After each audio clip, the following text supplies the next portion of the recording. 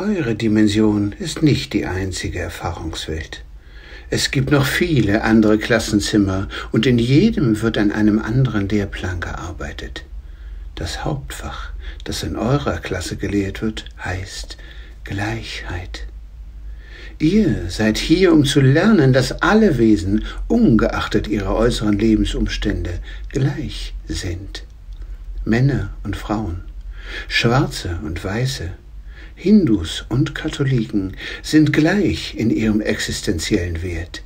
Jegliche Ungleichheit wurde von euch selbst geschaffen und muss wieder aufgehoben werden. Viele von euch sind schon seit langem mit dieser Aufgabe beschäftigt. Ich sage euch nicht, wie lange. Ihr wart sehr erfinderisch darin, eure wahre spirituelle Gleichheit mit anderen Menschen zu vertuschen. Manche von euch leben in Armut, während andere ungeheuren Reichtum angehäuft haben. Manche haben zu viel zu essen, andere nicht genug. Ihr müsst verstehen, dass diese ungleichen Bedingungen nicht mehr existieren würden, hättet ihr euren Lehrstoff schon bewältigt. Ihr seid hier, um das tief verwurzelte Glaubensmuster zu überwinden, dass einige von euch mehr wert sind als andere. Wie du das erreichen kannst? Erstens musst du den Grundsatz der Gleichheit auf dich selbst anwenden. Solange du dich irgendeinem anderen menschlichen Wesen überlegen oder unterlegen fühlst, hast du die Wahrheit über deine spirituelle Identität noch nicht akzeptiert. Zweitens musst du akzeptieren, dass dieser Grundsatz der Gleichheit auch für alle anderen Menschen gilt. Ihre Gleichheit zu akzeptieren heißt, bereit zu sein, mit ihnen zu teilen, wenn du mehr hast als sie, aber auch bereit zu sein, sie um Hilfe zu bitten, wenn du weniger hast. Du bist außerdem hier, um zu lernen, das Recht eines jeden Menschen auf seine eigenen Entscheidungen zu respektieren. Wenn du für einen anderen Menschen Entscheidungen triffst oder einen anderen für dich entscheiden lässt, hast du eure Gleichheit nicht akzeptiert. Diese Missachtung des anderen scheint dir den Freibrief zu geben, deinen Nächsten für die Entscheidungen verantwortlich zu machen, die du triffst oder zu treffen dich weigerst. Aber dieser Freibrief ist unecht. Über kurz oder lang wirst du erkennen, dass du nur einen Menschen verletzen oder heilen kannst, dich selbst. Solange du nicht gelernt hast, Verantwortung für deine Entscheidungen zu übernehmen und deinem nächsten Raum zu geben, das Gleiche zu tun, wirst du die Wahrheit über dich selbst und deinen Nächsten nicht erfassen. Das scheint eine sehr einfache Angelegenheit zu sein, doch die Anwendung des Grundsatzes der Gleichheit ist eine äußerst tiefgehende Praxis. Sie kann deine Welt transformieren und dir helfen, das Klassenziel gemeinsam mit all deinen Brüdern und Schwestern zu erreichen. Wenn du deinen Körper verlässt, geht der Unterricht in einem nicht physischen Klassenzimmer weiter. Dort ist der Lernprozess beschleunigt, weil die schöpferische Wirkung der Gedanken nicht durch Zeit und Raum beeinflusst wird. In deiner Welt dauert es eine gewisse Zeit, bis Gedanken in sichtbare Wirkung umgesetzt werden. In nicht physischen Dimensionen läuft der Umsetzungsprozess automatisch ab. Wenn du beispielsweise denkst, ich möchte meinen Freund Robert besuchen, wirst du unmittelbar in Roberts Wohnzimmer transportiert. Deine Reise hat keine Zeit gekostet und du hast keinen Raum durchquert. Einige von euch haben bereits mit Wesen in nicht physischen Dimensionen kommuniziert. Eine solche Kommunikation findet natürlich auf einer rein gedanklichen Ebene statt. Interdimensionale Kommunikation ist schwierig, aber nicht unmöglich. Mit einiger Übung wird es euch gelingen, eure Kommunikationsfähigkeit über eurem begrenzte Raum-Zeit-Welt hinaus auszudehnen.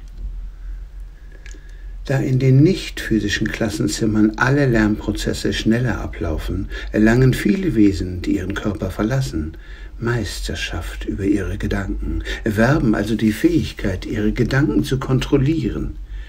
Deshalb vertrauen sie darauf, dass sie beim Wiedereintreten in die physische Welt ihre Meisterschaft auf diesem Gebiet demonstrieren können. Doch Im dichten physischen Umfeld gelingt dies von den Millionen Wesen, die es versuchen, nur einigen wenigen. Das ist nicht schwer zu verstehen. Eure Wissenschaft lehrt euch, dass ihr bei Verlassen des Magnetsfeldes der Erde praktisch schwerelos werdet und athletische Kunststücke vollbringen könnt, die euch auf der Erde unmöglich wären. Weiterhin lehrt euch eure Wissenschaft, dass sich beim Verlassen der dichten Erdatmosphäre der Alterungsprozess verlangsamt. Viele der auf der Erde geltenden Naturgesetze haben keine Gültigkeit mehr, wenn man sich aus dem Erdumfeld entfernt. Beim Verlassen des physischen Körpers tritt ein ähnliches Phänomen in Erscheinung. Du erfährst eine schöpferische Freiheit, die auf der Erde undenkbar wäre, außer vielleicht im Traumzustand, in welchem deine Aufmerksamkeit nach innen gerichtet ist und deine körperlichen Prozesse verlangsamt sind. Der Traumzustand ist ein gutes Beispiel für die Bewusstseinserweiterung, die stattfindet, wenn man den Körper verlässt. In deinen Träumen erschaffst du deine Realität ziemlich unbekümmert und rücksichtslos. Du tötest und wirst getötet, hast Sex mit allen möglichen Leuten, begegnest unglaublichen Gefahren und entkommst auf wunderbare Weise. Wenige von euch würden im Wachzustand versuchen, die Dinge zu tun, die sie im Traumzustand tun. Die Erfahrungen auf der nicht physischen Ebene sind sogar noch dramatischer als die des Traumzustandes, denn die kreativen Möglichkeiten sind dort unbegrenzt. Die irdische Schule ist das Umfeld, in dem du jene Fähigkeiten erprobst, die du in den mit der Erde verbundenen nicht physischen Klassenzimmern erworben hast. Und in dieser irdischen Schule kannst du die Abschlussprüfung erst bestehen, wenn du gezeigt hast, dass du den Lehrstoff beherrschst. Alle Wesen wissen das und deshalb wollen sich alle wieder in physischen Körpern inkarnieren, um zu beweisen, dass sie ihre Lektion gelernt haben. Warum aber bereitet ihnen das so viele Schwierigkeiten? Erinnern wir uns an das Beispiel mit der Schwerekraft. In einem Umfeld, in dem keinerlei Schwerkraft herrscht, fällt es einem Athleten nicht schwer, fünf Meter hoch zu springen. Er kann buchstäblich durch die Luft fliegen. Doch auf der Erde kann er höchstens zwei bis zweieinhalb Meter hoch springen und würde nicht einmal einen Gedanken daran verschwenden, fliegen zu wollen. Die in der Dichte der irdischen Atmosphäre vorherrschenden Bedingungen sind nicht leicht zu meistern. Auch die physische Entwicklung braucht ihre Zeit. Dein irdisches Leben beginnt im Leib deiner Mutter. Du bist absolut abhängig von ihr, und wenn du dann geboren wirst, bist du auf der physischen Ebene vollkommen hilflos. Du musst erst lernen, allein zu essen, zu gehen, zu sprechen und deine Umgebung zu beeinflussen. Blicken wir doch den Tatsachen ins Gesicht. Für jemanden, der noch vor kurzem seine Erfahrungen in einer nicht physischen Umgebung machte, in welcher die Gedanken unmittelbare Wirkung zeitigten, ist das die reine Folter. Wenn das Bewusstsein in die Dimension der Zeit eintritt, zieht es sich zusammen und konzentriert sich darauf, sich mehr mit dem physischen Körper zu verbinden, wobei es gleichzeitig Wahrnehmungskanäle zu anderen Dimensionen, mit ihren kreativen Möglichkeiten verschließt. Einfach ausgedrückt wird das Bewusstsein von der Dichte des physischen Umfeldes aufgesogen, und dort fühlt es sich gefangen, fühlt sich als Opfer. Es erinnert sich nicht an seinen grenzenlosen Seinszustand, es erinnert sich nicht daran, dass es nicht der Körper ist, in sehr seltenen Fällen zieht sich das Bewusstsein nicht vollständig zusammen, wenn es das physische Klassenzimmer betritt. Diese Menschen leben in einem Körper, bewahren sich aber dennoch die Erinnerung an die nicht physische Dimension. Sie wissen, dass nicht sie auf ihren Körper beschränkt sind. Sie wissen, dass sie nicht das Opfer der Gedanken und Handlungen anderer Menschen sind. Sie wissen, dass ihre Realität Kraft ihrer Gedanken sie selbst erschaffen können. Solche Menschen sind spirituelle Lehrer oder Meister. Ich war einer von vielen solcher Lehrer, die sich auf der physischen Ebene inkarnieren, um ihren Brüdern und Schwestern zu helfen, sich an ihre wahre, nicht physische Identität zu erinnern. Ohne die Präsenz solcher Lehrer würde die Dichte des irdischen Umfeldes das kollektive Bewusstsein völlig überschatten und die Verbindung zu spirituellem Wissen größtenteils blockieren. Und es gab im Lauf der menschlichen Geschichte in der Tat Zeiten, in denen sehr viel Dunkelheit auf der Erde herrschte. Ihr selbst nennt eines dieser Zeitalter das frühe oder finstere Mittelalter. Ein weiteres dunkles Zeitalter, das eurer Erfahrung näher liegt, herrscht in den ersten beiden Dritteln des 20. Jahrhunderts. Die heutige Zeit, in der ihr im physischen Klassenzimmer eure Lektion lernt, ist eine Zeit des Übergangs. Technologisch habt ihr eine Stufe erreicht, auf der ihr eure physische Umgebung zigfach zerstören könntet. Aber es gibt heute auch mehr Licht auf eurem Planeten als je zuvor in der Geschichte der Menschheit. Wenn das wahr ist, so fragt ihr euch vielleicht, warum ich im Moment nicht in physischer Form unter euch weile. Viele von euch erwarten meine Rückkehr in menschlicher Gestalt, aber das wird nicht der Fall sein. Meine Arbeit hier ist fast beendet und meine physische Präsenz würde die Transformation, vor der ihr gerade steht, nur verzögern. Inzwischen ist wohl den meisten von euch klar, welcher Art diese Transformation sein wird.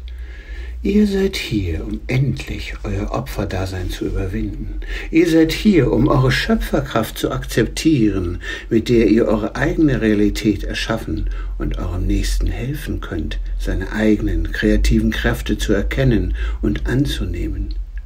Ihr seid hier, um das im großen Stil zu tun.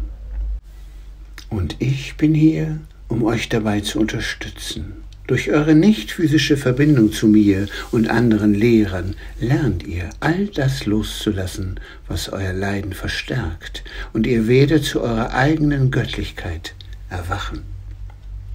Ich brauche die Hilfe jedes Einzelnen von euch, um meine Mission auf dieser Erde zu erfüllen. Ihr seid diejenigen, durch die sich meine Lehre in jedem Augenblick offenbart. Und deshalb kann der Schwerpunkt nicht länger auf Worten liegen, denn Worte trennen die Menschen. Der Schwerpunkt muss sich auf die aktive Demonstration der Prinzipien von Liebe und Vergebung verlagern. Euer individuelles und kollektives Einschwingung auf die nicht physische Realität ist ein wesentlicher Schritt im planetarischen Transformationsprozess. Wäre ich in einem physischen Körper unter euch, würde sich die Kreuzigungserfahrung wiederholen. Wenn ihr euch umschaut, werdet ihr erkennen, dass diejenigen, die den Status quo in Frage stellen, weiterhin häufig verleumdet, missachtet und verfolgt werden. Das kann nur dadurch verhindert werden, dass ihr selbst aufwacht.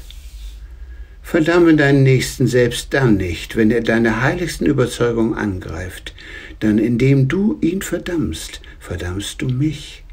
Stelle ihn auch nicht auf deinen Sockel, selbst wenn du von seiner Makellosigkeit überzeugt bist, denn niemand ist makellos. Niemand lebt hier, ohne Fehler zu machen. Auch ich, geliebter Freund, habe viele Fehler gemacht. Ich habe meinen Bruder, meinen Gott den Rücken gekehrt und habe beide beschuldigt, mich im Stich gelassen zu haben. Macht mich nicht zu etwas Besonderem. Macht keinem eurer Mitmenschen zu etwas Besonderem. Ihr macht alle den gleichen Lernprozess durch. Lernt, eure Ebenbürtigkeit mit euren Brüdern und Schwestern zu feiern, denn dadurch bestätigt ihr eure Ebenbürtigkeit mit mir. Und wenn ihr mich als einen Gleichen unter Gleichen betrachtet, wird sich unsere Kommunikation außerordentlich verbessern. Jedes Mal, wenn du deinen Bruder oder deine Schwester in dein Herz hineinlässt, öffnest du auch mir die Tür. Es gibt keinen Bruder und keine Schwester auf dieser Erde, die ich nicht liebe, denn ich kann sowohl in die Seele des Verbrechers als auch in die seines Opfers sehen. Ich sehe, wie beide nach Liebe und Akzeptanz schreien. Und ich werde sie ihnen nicht verweigern Seid nicht schockiert darüber, dass ich von euch das Gleiche fordere, von euch, die ihr meine Hände, meine Füße und meine Stimme in der Welt seid. Seid geduldig und standhaft, meine Brüder und Schwestern. Unsere Arbeit wird erst beendet sein, wenn es keine Täter und keine Opfer mehr gibt. Unsere Reise wird erst zu Ende sein, wenn wir Gottes Liebe für uns angenommen und diese Liebe jedem gegeben haben, dem wir begegnen und zwar ohne Ausnahme. Jeder muss so angenommen werden, wie er ist, damit er seine Angst und den Wunsch nach Vergeltung loslassen kann. Mit mir zu gehen heißt, Gott und dem Menschen gleichermaßen zu dienen. Du dienst dem Menschen, indem du ihm zeigst, dass Gott sich an ihn erinnert und für ihn da ist. Du bringst ihm Essen und Trinken und Trost in seinem Leiden. Du umarmst ihn und erlaubst ihm seinen Kopf auf deine Schulter zu legen. Und du ermutigst ihn zum Weinen, denn er fühlt sich von seinen Eltern, seinen Kindern, seinen Geliebten und von Gott verlassen. Und wenn er weint, wirst du ihn trösten. Denn wie lange ist es her, seit du dich verlassen fühltest und heiße Tränen des Schmerzes und Bedauerns weintest? Das ist das Wesen der menschlichen Erfahrung. So ist es nur angemessen, dass du Mitgefühl für deinen Bruder hegst. Denn du teilst mit ihm die Erfahrung des Leidens und die der Erlösung.